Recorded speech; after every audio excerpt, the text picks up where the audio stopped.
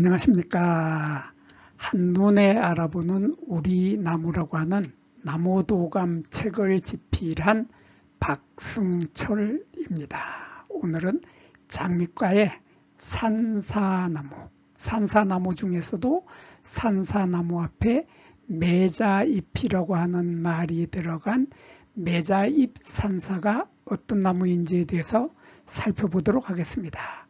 요 산사나무는 장미과 식물이죠. 장미과 식물이고 여기서 매자나무는 매자나무는 매자나무과 식물입니다. 그러니까 매자나무하고 산사나무가 전혀 다른 과에 속하는 전혀 다른 나무임에도 불구하고 왜 산사나무 앞에다가 매자잎을 붙였는지 오늘 그것을 한번 어, 추적해 보도록 하겠습니다. 이 매자잎 산사, 이 매자잎 산사를 산사의 학명을 먼저 보도록 하겠습니다.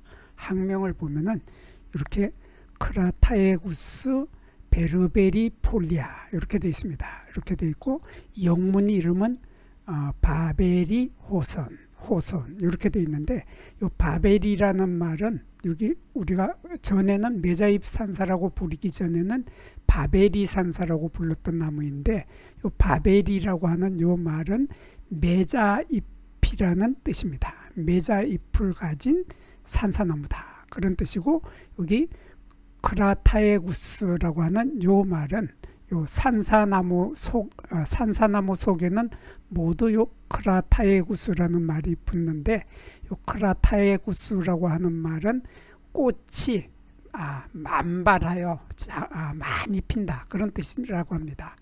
아, 그리스에서 그리스에서 요 크라타에구스라는 말이 꽃이 만발해서 많이 피는데 그 많이 피는 이 꽃이 만발하는데 그 속에 가시가 있다. 이렇게 가시가 숨어 있다. 그런 뜻을 가진 것이 바로 Crataegus이고 berberifolia라고 하는 것은 바로 바벨이라는 뜻이고 바벨이라고 하는 것 아, 바벨이라고 하는 말은 어, 베르벨이라고 하는 말은 어, 매자의 잎을 가지고 있는 산사나무다 그런 뜻이라고 합니다. 그래서 이것을 어, 영문명으로 그냥 이것을 어, 매자잎 산사 이렇게 부르고 우리말로도 그냥 매자잎 산사다. 그래서 매자나무의 잎을 가지고 있는 산사가 바로 어, 매자잎 산사인데 다른 산사나무 종류들은 잎을 보면 잎에 결각이 있는데 요 매자잎 산사는 잎에 결각이 없다는 이런 차이점을 가지고 있죠. 그래서 요 매자잎 산사 말고 아, 우리나라에 자생하고 있는 산사나무 우리나라에 자생하고 있는 산사나무의 잎을 보면은 잎에 이러한 뚜렷한 결각이 이렇게 나타납니다. 이렇게 결각이 뚜렷하게 나타나면은 이것이 바로 우리나라의 자, 어, 우리나라 산에서 자생하고 있는 산사나무이고 서양 산사나무도 보면은 이 요건 서양 산사나무인데 서양 산사나무도 보면은 잎에 이렇게 뚜렷한 결각이 뚜렷하게 나타난다.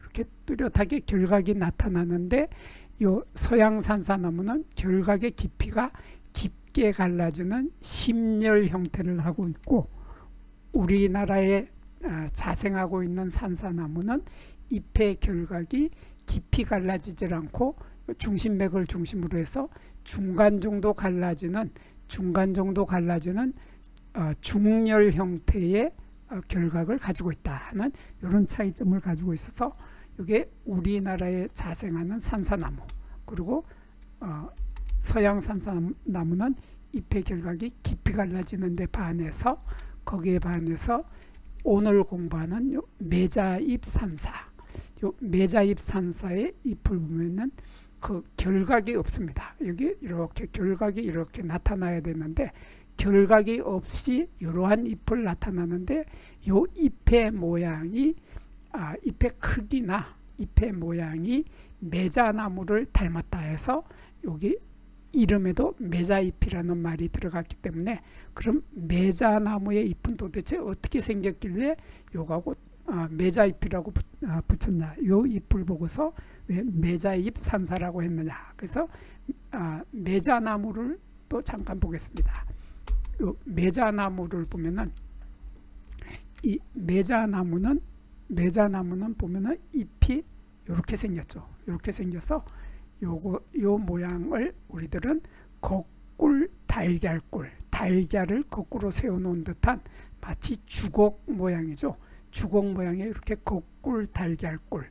그래서 요 위쪽이 어, 위쪽이 넓고 아래쪽이 좁은 아, 좁은 이러한 달걀을 거꾸로 세워놓은 듯한 이러한 모양을 하고 있는 것이 바로 매자나무의 잎입니다. 근데 여기에 매자잎 산사도 보면은 마찬가지로 곡굴 달걀 꿀이죠.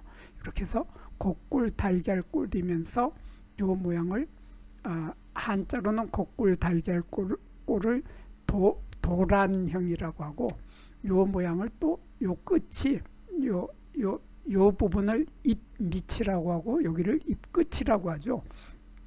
요 잎밑은 한자로 엽저라고 하고 요 부분을 엽두라고 하는데 요 잎밑을 보면은 여기에서부터 잎밑으로 이렇게 길게 가면서 뾰족해진다. 길게 가면서 뾰족해져서 요 모양이 마치 송곳의 끝처럼 길게 뾰족해지는 이러한 모양을 어, 피침형이라고 하죠. 피침형 한자로 피침형이라고 하고 우리말로는 바속골이라고 하는데 이것이 지금 거꾸로 돼 있어서 곡굴 바속골 요 모양을 곡굴 바속골 어, 그리고 한자로는 도피치명이라고 합니다. 이러한 도피치명 형태 그리고 곡굴 달걀골 곡굴 어, 바속골의 형태를 하고 있는 것이 바로 요 매자잎 산사입니다. 그래서 매자잎 산사는 잎의 모양이 이 매자나무하고 똑같이 생겼고 요 잎도 어, 두꺼운 어, 어, 두꺼운 혁질이죠. 가죽질이라고 하는 한자로 혁질이고 매자 잎도 마찬가지로 매자의 잎도 마찬가지로 두꺼운 혁질입니다. 두꺼운 혁질이면서 길이도 보면은 잎의 길이를 여기에서부터 여기까지의 잎의 길이를 3에서 7cm 그래서 최고 큰, 큰 잎의 길이가 7cm 정도 되는 것이 바로 매자나무입니다. 거기에 비해서 매자잎 산사의 잎의 크기를 보면은 잎의 크기가 4에서 7cm로 마찬가지로 매자나무와 마찬가지로 잎의 크기가 최고 7cm다 하는 공통점을 가지고 있고 잎에는 광택이 있습니다. 광택이 있어서 반짝반짝 빛이 나서 잎이 아주 매력적으로 어, 매력적으로 아름답다 하는 특징을 가지고 있는데 요 매자잎 산사하고 아주 비슷한 나무가 또 살고 있죠. 어, 또 살고 있는데 그게 바로 어제 공부한 뿔산사 나무입니다. 이 뿔산사 나무의 잎을 보면은 매자잎 산사하고 똑같이 생겼습니다. 똑같이 생겼는데 잎의 길이가 8cm로 아, 조금 전에 보았던 매자잎 산사는 7cm였는데 요 뿔산사나무는 8cm다 하는 약간 잎의 크기는 크지만은 똑같습니다. 광택이 반짝반짝 빛이 나는 것도 똑같은데 요 뿔산사나무는 아 여기에 보면은 줄기에 가시가 뿔처럼 아, 커다란 사슴의 뿔처럼 보인다 해서 이것을 뿔산사나무라고도 하는데 이것이 요 모양이 꼭 닭발같이 생겼다. 닭의 어, 싸움 닭의 발끝에 날카로운 어, 발톱을 가지고 있는 그 어, 싸움 닭의 닭발처럼 생겼다. 그렇게 말하는 말하는 뜻으로 이것을 crus-galli 산사다 이렇게 부릅니다. crus-galli라는 말을 그렇게 썼는데 이렇게 잎의 모양이 똑같으면서 잎의 크기가 약간 큰데 그러면 두 나무는 차이점이 뭐냐? 차이점이 바로 여기에 있습니다. 요게 바로 crus-galli 산사, 뿔산사라고 하는 요 뿔산사 나무는 잎의 표면에도 이런 짧은 털이 보이죠. 이렇게 조금 크게 보면은 잎의 표면에도 여기 표면에도 보면 이런 짧은 털이 이렇게 누운 털이 있습니다. 누워서 복, 아, 복모라고 하죠. 어, 누워 있는 복모가 이렇게 잔뜩 있고 잎의 뒷면에는 털이 더 많죠. 아, 잎의 뒷면에는 털이 촘촘하게 요, 아, 여기 잎의 뒷면에 촘촘하게 많고 잎맥, 아, 중심맥과 요 견맥 위에도 털이 잔뜩 많이 있는 것이 바로 뿔산사, 뿔산사 나무인데 거기에 비해서 아, 거기에 비해서 매자잎산사는 거기에 아, 잎의 표면에도 털이 없고 잎의 뒷면에도 털이 처음에는 약간 있지만은 점차 없어져 버린다. 그래서 잎의 뒷면, 아, 잎의 표면이나 뒷면에 털이 거의 없는 것이 매자잎 산사인데 거기에 비해서 뿔산사 나무는 어, 잎의 표면이나 잎의 뒷면에 털이 많다 하는 차이점으로 금방 어, 잎의 모양으로 뿔산사 나무와 매자잎산사는 구별이 됩니다. 그리고 두 나무는 요 꽃이 피었을 때 보면 매자잎산사는 어, 꽃이 피어 있을 때 아, 꽃이 많이 피는 것은 산사나무 종류들의 공통적인 특징이죠. 그래서 꽃이 피었을 때 보면 5월달에 하얀색의 꽃이 이렇게 피는데 이 꽃이 나무 전체를 뒤덮을 만큼 꽃이 많이 핀다. 그래서 아까 설명을 했듯이 크라, 아, 크라타에구스라고 하는 말은 꽃의 숫자가 많이 핀다. 많이 피면서 가시를 가지고 있다. 그 뜻이 바로 요게 그리스 말로 크라타에구스라는 말은 꽃이 많고 가시가 있다 하는 이렇게 가시를 가지고 있다 하는 이런 뜻을 가지고 있는 어, 학명을 가지고 있는 것이 바로 산사나무 종류들의 공통적인 특징인데 아, 꽃 참 예쁘죠. 꽃도 예쁘고 향기도 좋습니다. 향기도 좋고 꿀도 들어있고 어, 밀원식물이기도 한 요 꽃에서 우리가 주목해서 보는 것은 바로 요 아, 꽃의 가운데 있는 암술의 숫자입니다. 요 암술의 숫자가 두 개에서 세 개, 두 개에서 세 개씩을 가지고 있는 것이 바로 이 매자잎 산사죠. 매자잎 산사인데 거기에 비해서 어, 뿔산사나무, 뿔산사 나무는 요 여기에 암술대의 숫자가 두 개 내지 세 개가 아니라 아, 두 개밖에 없다. 두 개밖에 없다 하는 이러한 차이점을 가지고 있는데 두 개밖에 없기 때문에 이 뿔산사 나무는 나중에 열매를 맺었을 때 보면 이 열매 하나 속에 씨앗이 두 개밖에 없다 그런 뜻입니다. 그래서 열매 하나에 씨앗이 보통 두 개밖에 없는 것이 뿔산사 나무인데 거기에 비해서 매자잎 산사나무는 요 암술대의 숫자가 두 개 내지 세 개, 두 개 내지 세 개였기 때문에 나중에 열매 속에 들어있는 씨앗의 숫자도 두 개 내지 세 개의 씨앗이 들어있다 하는 이러한 차이점을 가지고 있고 요 매자잎 산사는 요 매자잎 산사는 열매 모양이 이러한 이러한 타원형으로 보이죠.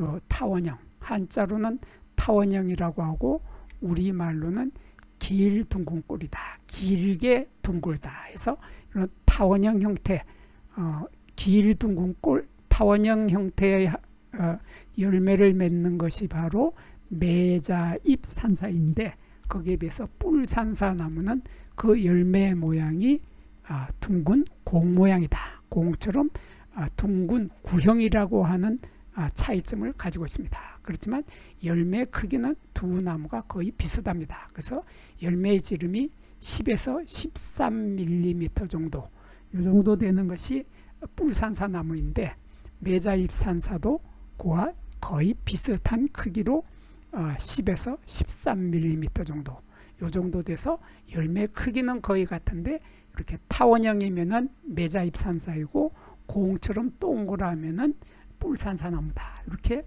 두 나무는 아주 쉽게 구별을 할 수 있게 되겠습니다.